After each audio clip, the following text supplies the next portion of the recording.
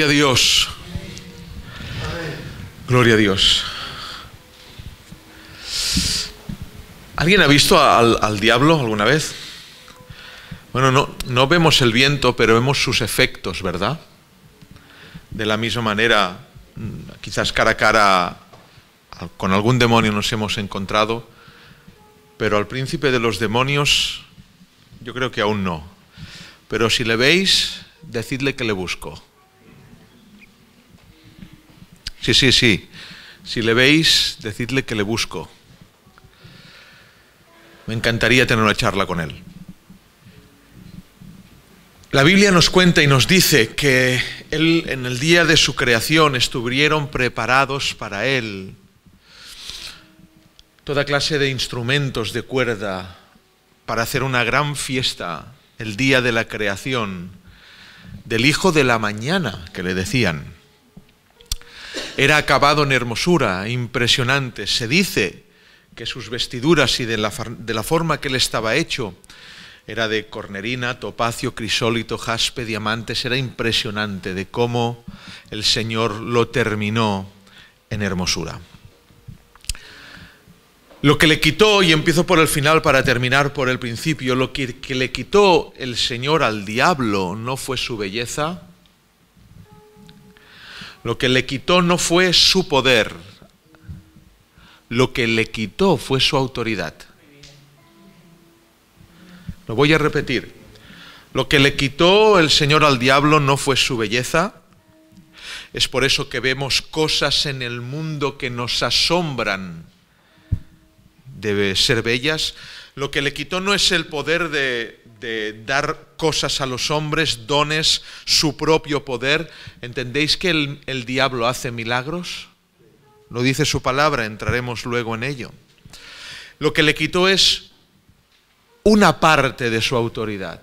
Porque quien se va de al lado del Señor pierde autoridad. Para Dios lo valioso no es la belleza, para Dios lo valioso no es el poder, para Dios lo valioso es la autoridad.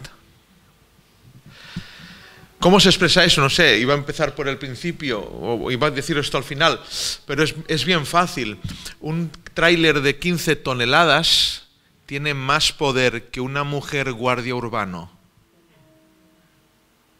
pero la mujer guardia urbano tiene una autoridad que el tráiler de 15 toneladas no tiene.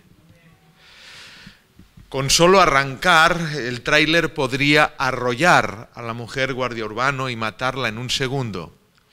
Pero la mujer de 60 kilos guardia urbano, policía, levanta la mano, dice que pare y la autoridad de su vestido, la autoridad que le delega el gobierno, provoca que un tráiler de 15 toneladas le obedezca.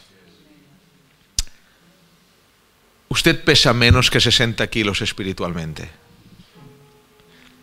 Y el diablo pesa más que 15 toneladas. Pero usted, si es hijo de Dios, tiene algo que el diablo no tiene. Autoridad. La autoridad que es delegada de Jesús en el Calvario. Una autoridad, una autoridad que Él dice que está por encima de serpientes, escorpiones, alacranes y todo género de demonios. Lo creo, lo creo.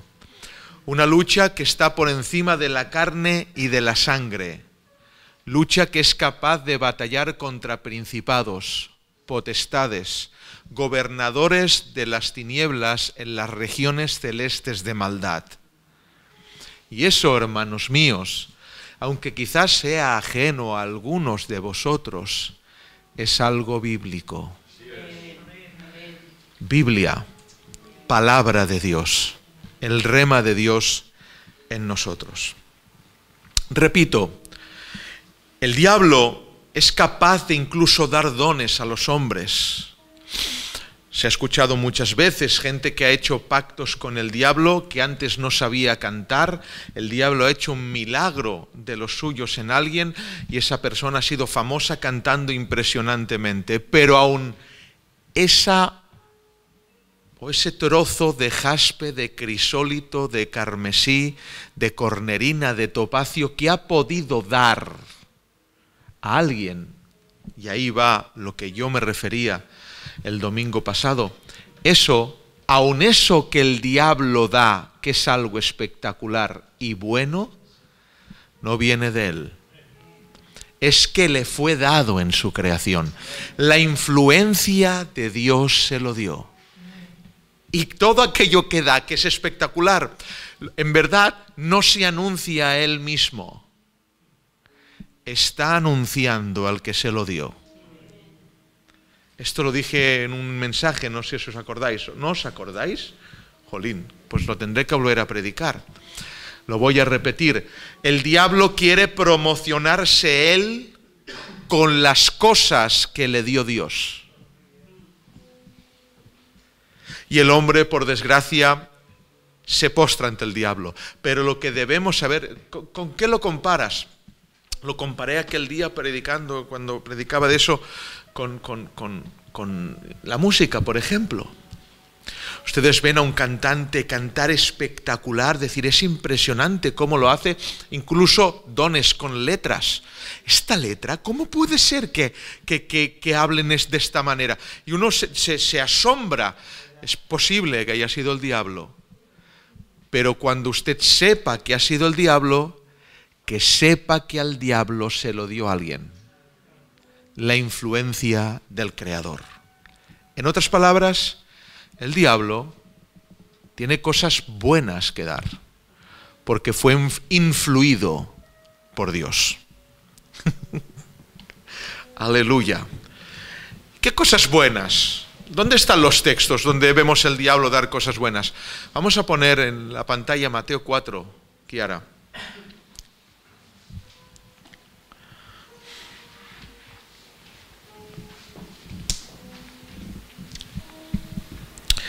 Entonces Jesús fue llevado por el Espíritu al desierto para ser tentado por el diablo. Y después de haber ayunado cuarenta días y cuarenta noches tuvo hambre. Y vino a él, ¿quién, hermanos? El tentador y le dijo, si eres hijo de Dios, di que estas piedras se conviertan en pan. Él respondió y dijo, escrito está, no solo de pan vivirá el hombre, sino de toda palabra que sale de la boca de Dios. Si ustedes se fijan, el diablo estaba dando una solución a la necesidad de Jesús. ¿Estáis aquí? ¿Estáis aquí? el diablo estaba dando una solución a la necesidad de Jesús. El diablo sabe dar soluciones a vuestras necesidades. Soluciones que no pasan por la bondad divina, y escuchen, sino la bondad del diablo. No pases más hambre. Hazlo, todos lo hacen. No pasa nada que toques esto. No pasa nada que pegues una patada a un piso. No pasa nada que no pagues aquello. No pasa nada, etcétera, etcétera, etcétera. Todos lo hacen. Además, estás pasando hambre, no pasa nada. Sabe dar soluciones bondadosas a nuestras necesidades. Cuando aparece la necesidad en Jesús, ¿quién aparece? Hermanos, no apareció Dios. Cuando tuvo hambre, Dios no vino. ¿Estáis aquí? ¿Estáis aquí? Cuando tuvo hambre, Dios no vino. Vino el diablo, apareció el tentador. Y si tú le dices a estas piedras que se conviertan en pan, se convierten. Sacia tu hambre. Pero seguimos.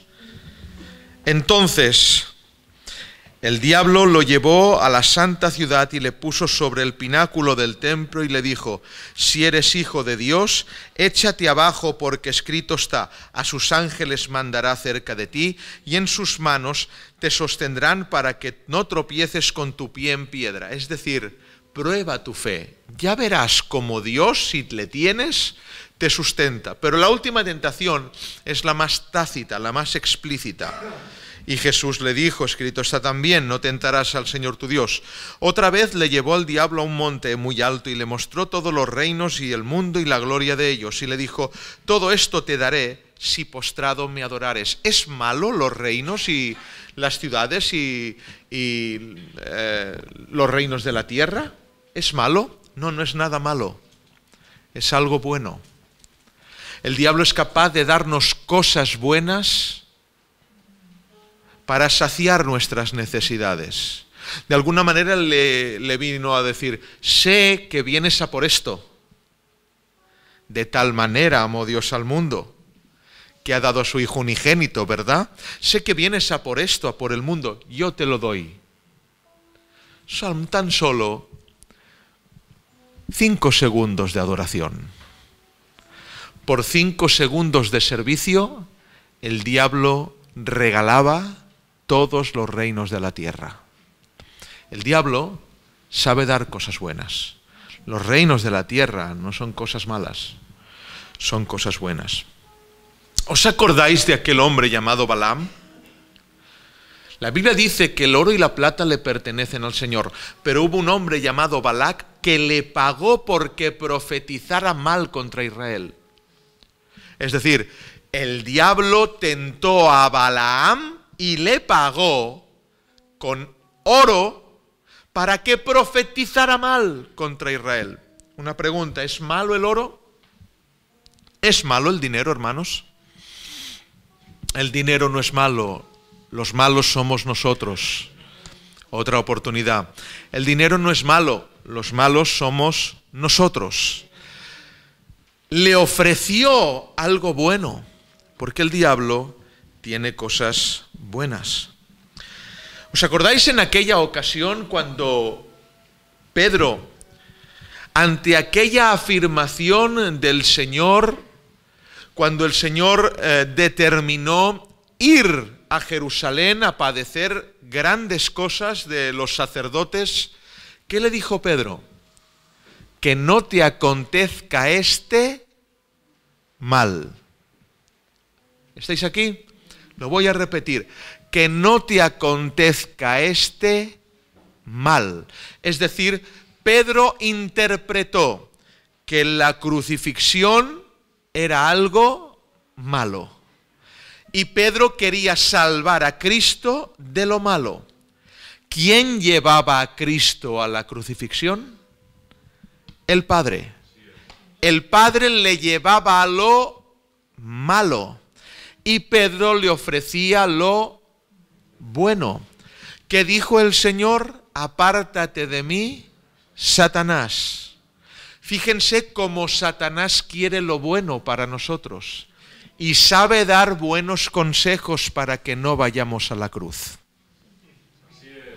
Nos quiere librar para que no vayamos a la cruz nos quiere eh, alumbrar con sus bondades, con las bondades del diablo. Sí, hermanos, quizás este sentir de la palabra se llame así, las bondades del diablo. Con las bondades del diablo nos quiere seducir para que no vayamos a la cruz. Pero ¿quién llevó a Jesús al desierto? El Espíritu Santo. Muchas veces lo que nosotros consideramos bueno es lo malo y lo que consideramos malo es la voluntad de Dios, que dice la Biblia que su voluntad es agradable y perfecta. Claro, no es agradable para nosotros.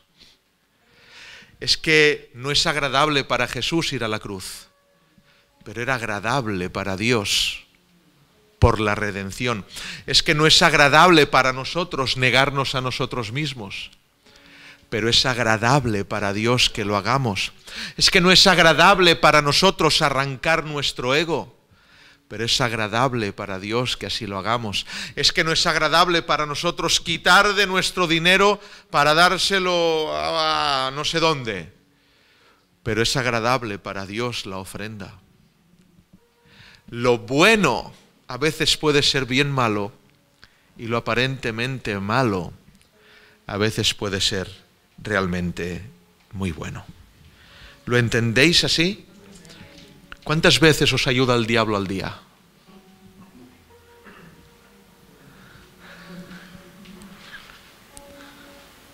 ¿Cuántos atajos nos propone? Si cerráis los ojos, lo veréis muchas veces está el Señor aquí, hermanos. ¿eh? Si cerráis los ojos, lo veréis muchas veces. Muchas veces. El Señor es el Señor capaz de provocar tal locura en un hombre tan sabio que cuando le traen a aquel niño, aquellas dos mujeres, diciendo que aquel era su hijo, lo colmó de sabiduría de tal forma que la acción de Salomón fue la acción de Dios. Dadme al niño y una espada, que voy a partirlo. Lo que para unos es una locura senil de un hombre enajenado, para otros es la administración de la justicia divina. Sin esa acción no sabemos quién es la madre. Lo aparentemente bueno a veces es lo realmente malo. Y aquello que esto no puede ser bueno es la voluntad del Señor. ¿Cuántas veces nos ayuda Dios? Algunos se acordarán de esto, que es el texto clave. Kiara Esdras 4.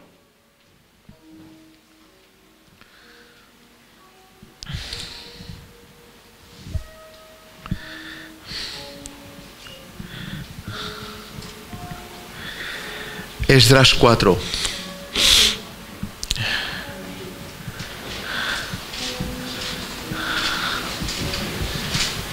Muy bien.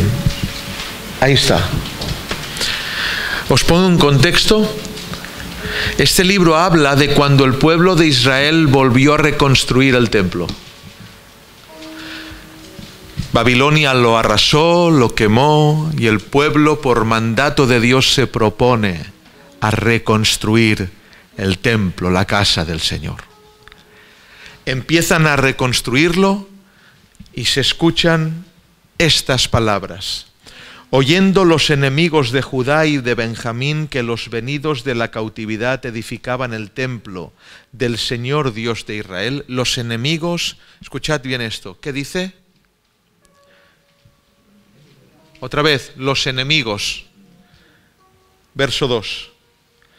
Vinieron a Zorobabel y a los jefes de las casas paternas y les dijeron, edificaremos con vosotros pon el uno otra vez. Oyendo los enemigos de Judá y de Benjamín, les dijeron a los que construían el templo, edificaremos con vosotros, porque el diablo quiere ayudarnos a edificar la casa del Señor. ¿Estáis aquí?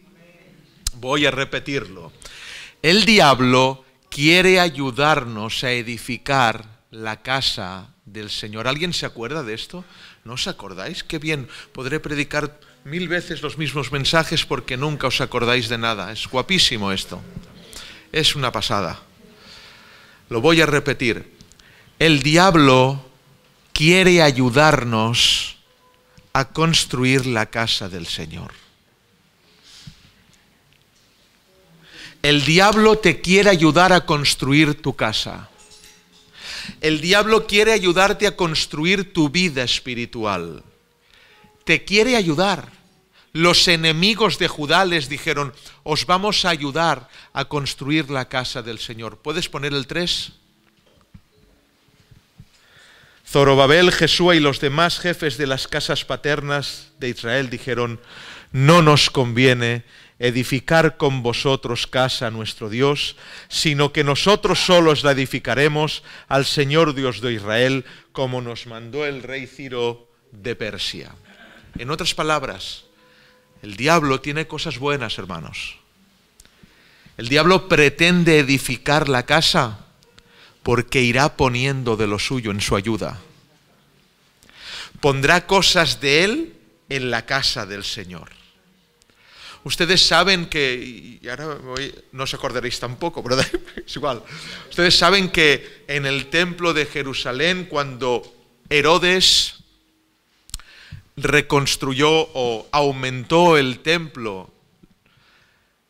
Saben que eh, la ayuda la obtuvo también de Roma y en la puerta principal de las murallas del templo había una pequeña águila romana.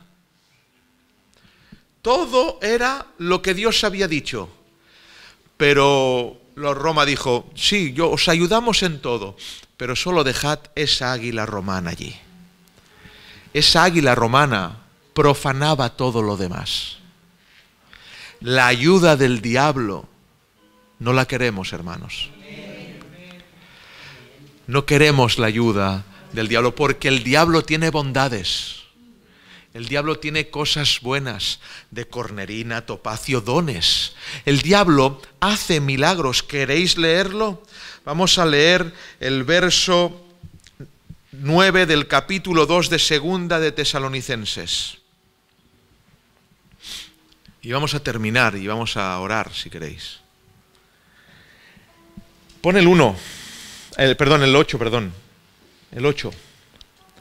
Y entonces se manifestará aquel inicuo, a quien el Señor matará con el espíritu de su boca y destruirá con el resplandor de su venida. Amén, hermanos.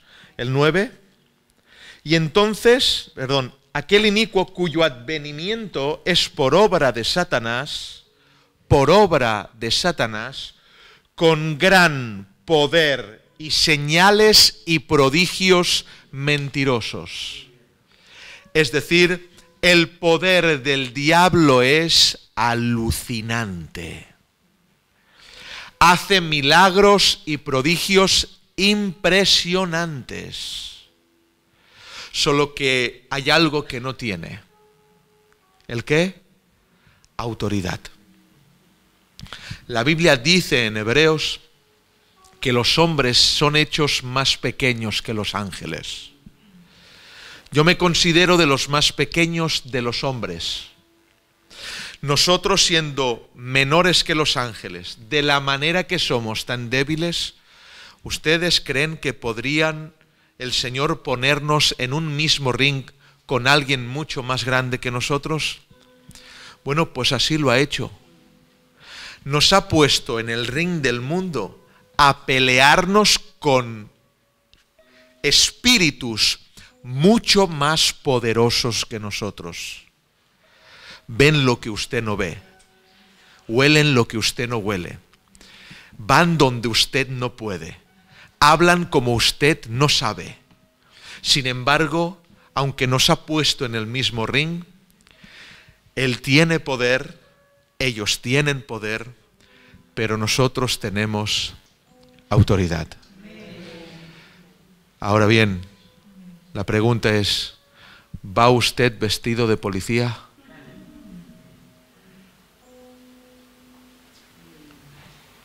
Preparados, como dice Efesios, con la armadura de Dios, el yelmo de la salvación, el apresto del Evangelio, la espada del Espíritu, el escudo de la fe.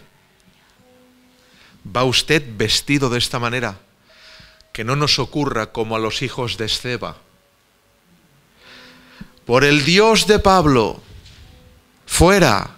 El demonio dijo, estos llevan un disfraz, no un vestido. No reconozco su autoridad. Y el mismo demonio dijo, a Pablo conocemos y Jesús sabemos quién es, pero vosotros quién sois.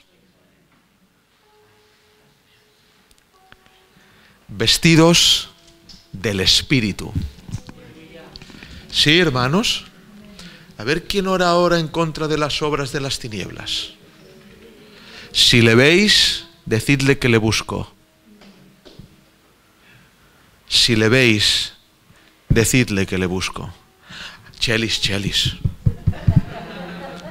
Si le veis, decidle que le busco. Le tengo mucha rabia, le odio, hermanos. Odio por cuántas veces os engaña, por cuántas trata de engañarme a mí también, por cuántas veces estaba hablando ayer con una hermana y la veía como en el Serengeti, aquel río, no recuerdo el nombre del río, cuando se ponen los cocodrilos en el río esperando las gacelas. Solo tienen que abrir la boca. La abren, pasa la gacela, cierra la boca, gacela muerta. Muchas veces así está el diablo.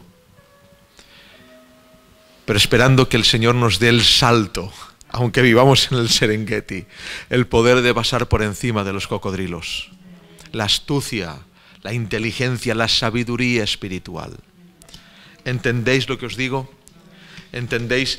Dijo Job, ¿aceptaremos solo el bien del Señor y el mal no? En el mal estaba la restitución de Job. En el mal estaban diez hijos más. En el mal estaba un libro que cuando lo leemos es aire comprimido para nuestros pulmones.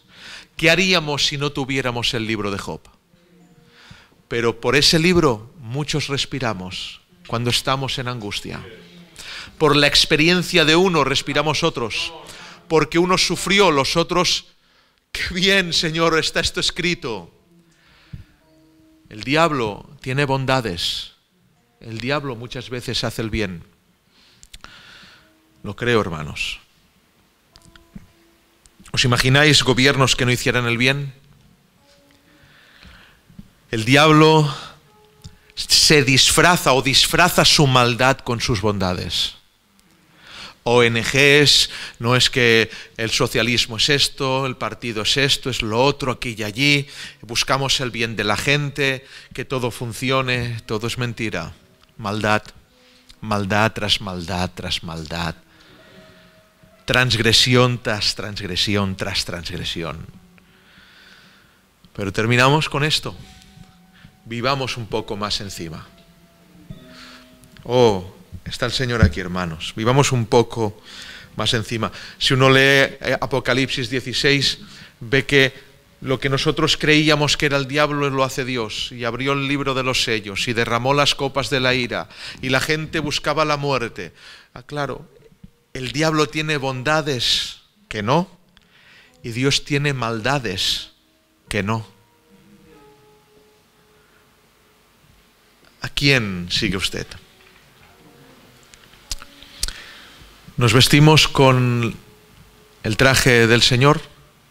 Nos vestimos del Espíritu. ¿Sí? ¿Sí o no? ¿De verdad? ¿Queréis hacer guerra al enemigo? Pues vamos a ponernos de pies ahora.